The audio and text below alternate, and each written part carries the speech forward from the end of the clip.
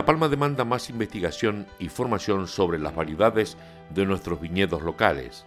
que se realicen investigaciones y estudios para conocer el potencial de estas variedades, teniendo en cuenta los efectos del cambio climático que se avecina, porque para los investigadores nuestras variedades locales afrontan mejor que otras el cambio climático.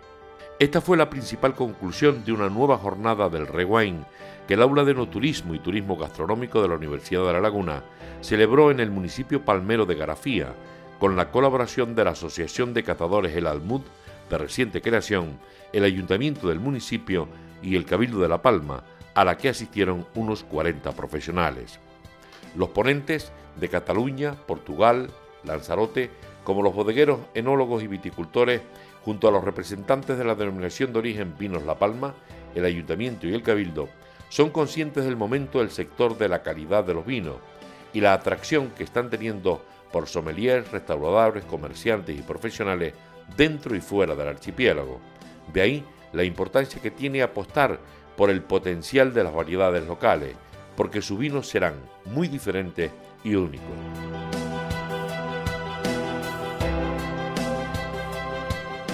A ver, el, único, hay, hay, diferentes zonas en el mundo que pueden hacer frente con sus varietales al, cambio climático. A ver, de entrada, cualquier variedad local de cualquier ubicación en el mundo puede hacer frente, porque es una variedad más adaptada al hábitat en cuestión. Claro, lo que se ha plantado hasta ahora eran varietales, sobre todo foráneos. Cabernet Sauvignon, esto era francés, Pinots, Merlots, pero eh, de entrada ya, eh, cada zona o cada zona vitivinícola si recupera sus varietales locales, puede hacer frente al cambio climático. Entonces es bueno para esto, porque sus varietales pueden contribuir eh, en dos aspectos que actualmente pueden ser muy importantes. Uno es la homogenización de los vinos, es decir, ofrecer al consumidor mucha más variedad de vinos, mucha más de, eh, sabores diferentes eh, y por otro lado vencer al, vencer al cambio climático o mm, mitigar el cambio climático más que vencer. Vencer no se va a vencer, pero sí que se puede mitigar. Pasa porque, porque se pongan un poco las pilas y que certifiquen todo lo que no está certificado, registren y certifiquen lo que se va descubriendo, porque hay mucho varietal que no tiene nombre. Eh, eh, los, que, los que hemos hecho estudios desde, desde, la, desde la Universidad de La Laguna o desde la Universidad Robert y Virgili, estamos encontrando lo que bautizamos como desconocidas. Todo esto se tiene que trabajar, se tiene que ver qué potencial tiene, si vale la pena registrarlo y certificarlo. Hombre, yo creo que dijo una realidad que el cambio climático existe, aunque muchas veces no nos lo queramos creer, porque siempre las cosas que no nos gustan las intentamos apartar y hay que ser consciente del privilegio que tiene Canarias de tantos siglos de historia con la viticultura, de nuestro clima y ahora más que nunca apostar porque sea reconocido a nivel mundial, como bien Francesca explicaba. Creo que son cosas muy importantes y que se acerque todo lo que se va avanzando a, la población y que poco a poco se vaya haciendo el, mundo del vino un poco más grande. Sin lugar a dudas, hay que apostar por las variedades locales y por las más olvidadas y las más raras, porque de ahí, de la diferenciación y de conseguir algo que ya prácticamente estaba olvidado, podemos que nuestra riqueza aumente y nuestro prestigio y, y nuestro amor como ser humano por conseguir que algo que estaba a punto de desaparecer no desaparezca. Sí, eso es importante el varietal, también las condiciones y la, orientación de, la, de, las comarcas. Por ejemplo, en este caso en la zona norte de la isla eh, vamos, en teoría vamos a mejor, ¿sí? porque estamos a una altura que los viñedos están casi todos por encima de los 1.100 metros y eso es beneficioso. Hoy en día la agricultura de, alta montaña o, en altura se está poniendo, imponiendo en Europa y en España también. Pues siempre se aprende cosas, se comparten experiencias y y creo que es agradable compartir experiencias y, estamos moviéndonos en la misma filosofía. sin duda, eh, desde la bodega de Bodegas Noroeste siempre llevamos aportando por los hoteles locales y haciendo monovarietales ya desde hace años. Sí, es importante que, que, las islas menores llegue también eh, la formación y, compartir experiencias con otros bodegueros y, y enólogos y técnicos de otras zonas de España y del mundo. Desde luego tenemos una, variabilidad de viñedo aquí brutal, eso tenemos que aprovecharlo. No hay más que ver la conferencia de Francesca, ¿no? donde todos los focos están puestos hoy en Canarias, en nuestras variedades eh, porque tenemos mucho por donde pelear, tenemos esa diferenciación por un lado y, desde luego la posibilidad de dentro de esas variedades poder luchar contra el cambio climático, que es algo que vivimos hoy muy de cerca y que Canarias eh, se verá bastante afectado. Exacto, ahí en Lanzarote la verdad es que es admirable el trabajo del viticultor, ¿no? ver cómo a partir de un desastre como pudieron ser unas erupciones hace 300 años, han generado todo un sistema de cultivo y prácticamente lo único que se cultiva en Lanzarote hacia de nivel industrial, entre comillas, es el, es, el viñedo, la viticultura.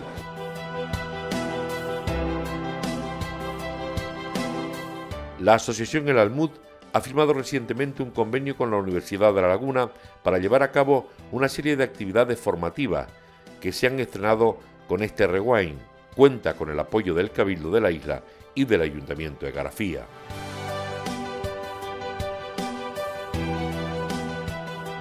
Doy una valoración muy positiva. Creo que las experiencias y el estudio que nos han presentado eh, nos ayudará en el futuro a valorar y saber promocionar los productos locales no solamente de la isla y del municipio, sino de las islas en, plural y que nos beneficiará a largo plazo. Si aquí estaban arraigadas y que tienen esa capacidad de cambio, aparte de que ya aquí en la isla eh,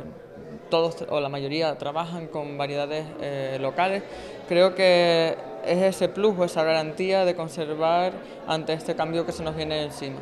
Bueno, yo creo que es un acuerdo importante de manera de traer eh, formación a, la isla y al municipio y un poco a seguir creciendo y no solamente crecer, sino establecernos como un punto sólido eh, para la formación, las catas, el conocimiento del producto total en la mesa y anterior a él.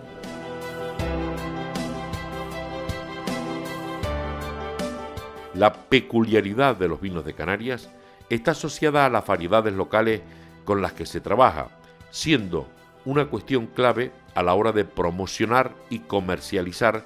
por la diferenciación que marcan a quien los prueba. Por ello es importante la apuesta y el trabajo por descubrir todo lo que nos pueden dar nuestras variedades locales, y ahí todos los agentes, Consejo Regulador de la Denominación de Origen, Universidad, Cabildo, Ayuntamiento, junto a los viticultores, tienen una oportunidad para sacarle a nuestros viñedos locales todo su potencial y hacer únicos nuestros vinos en el mundo.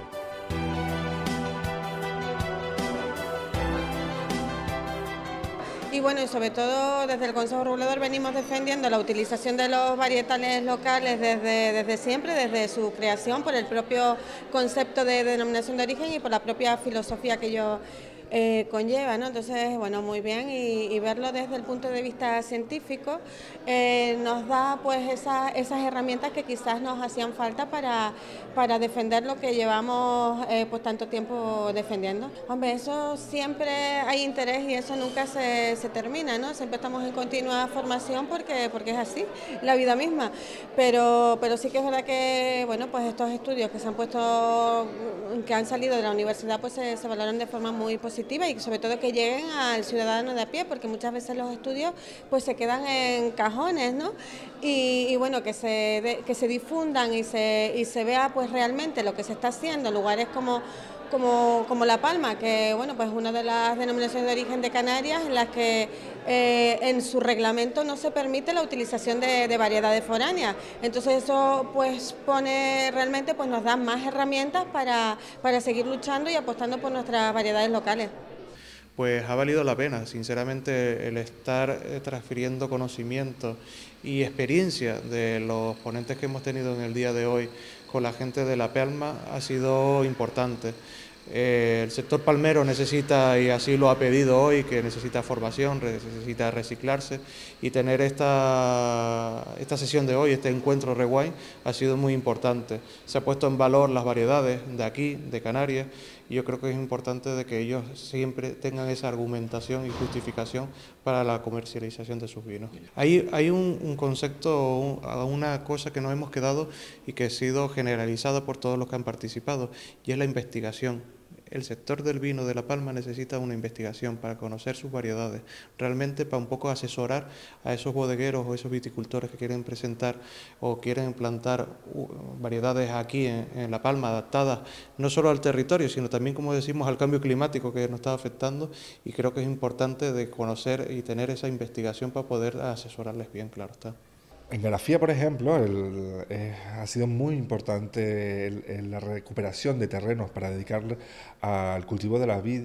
porque se han recuperado terrenos que estaban en estado de abandono. Eh, se ha aumentado muchísimo los terrenos cultivables eh, gracias al, bueno, al vino, a la fama que ha cogido el vino palmero eh, y eso es una, bueno, de entrada una defensa muy grande para, de cara, por ejemplo, a los incendios forestales que,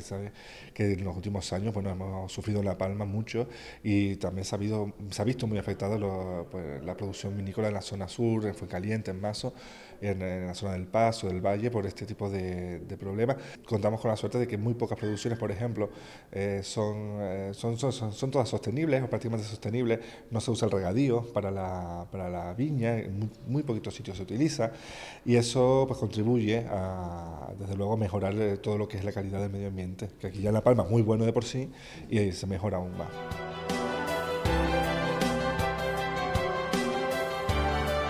La jornada de trabajo concluyó con una cata comentada entre los 40 participantes, enólogos bodegueros, que expusieron sus vinos y donde se pudo conocer las peculiaridades de cada uno, su diferenciación y lo que los hace únicos, no solo en Canarias, para el mercado fuera de las islas, en una cata coordinada por la sommelier Noelia Morales.